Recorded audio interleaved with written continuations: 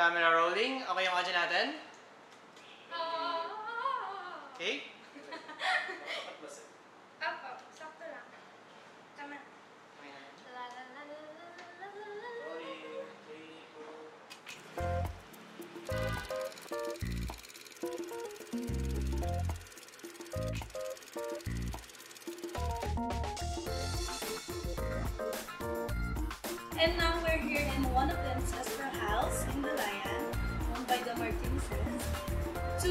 to shoot uh, our entry for the Provincial Tourism Culture and Arts Virtual Convenience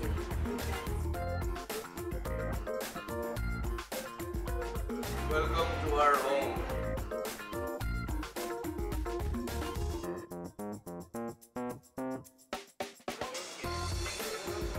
So medyo kalmado pa guys dahil hinihintay pa natin yung singer. So, mag-ikot-ikot muna tayo dito sa Martinez house. So, ito yung living room nila. Ayan. Akala ko yung microwave yung natunog. Yung pala yung speaker. ito yung dining area. Ayan. Ito yung nagchichikahan. Stop tayo dito. Ito yung pababa kanila. Uy. Nakakatakot. Dun, dun, dun. This I think is the receiving area. Kung sa front door ka dadaan. Pero dito kami dumaan kanina.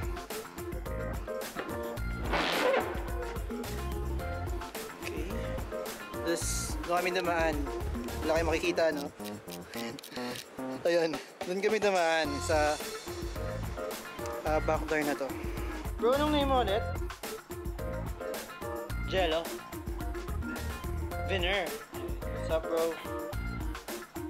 So, ipapakita ko sa inyo yung setup namin dito ngayon. So, ito yung gagamitin natin na camera, guys. This is an A7 III.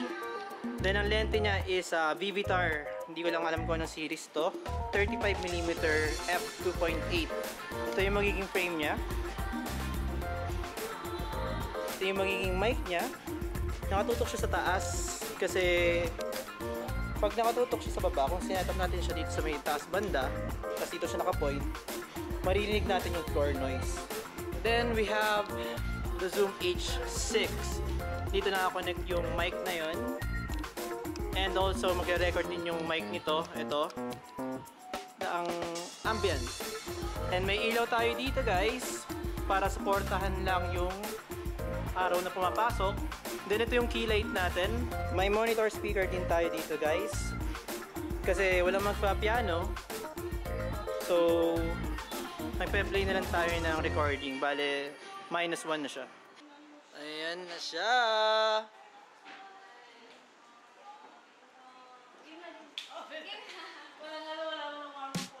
Camera rolling, bro. Audio. Alright guys, quiet on the set. Quiet silent po ng cellphone. Okay, okay, okay. Action. Palingat muna siya. Siya pala hindi okay.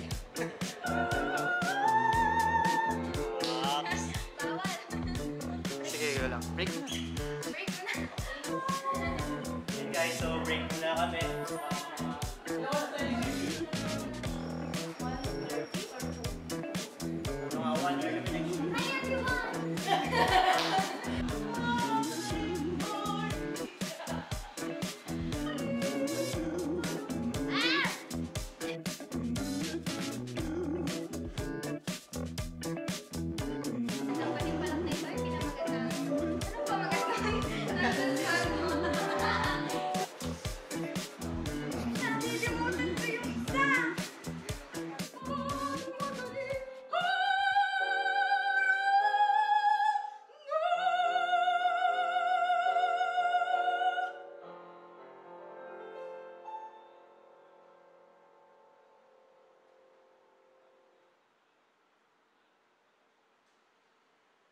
Okay.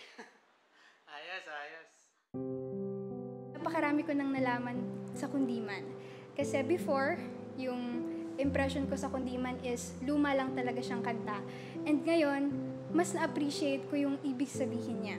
So, ang Kundiman, isa siyang love song But, isa siyang klase ng disguise nung unang panahon ng mga Pilipino nung sinasakop pa tayo ng ibang bansa. Sa um, halimbawa, hindi tayo makapag-voice out nung unang panahon kasi syempre, hindi pa natin hawak ang ating bansa.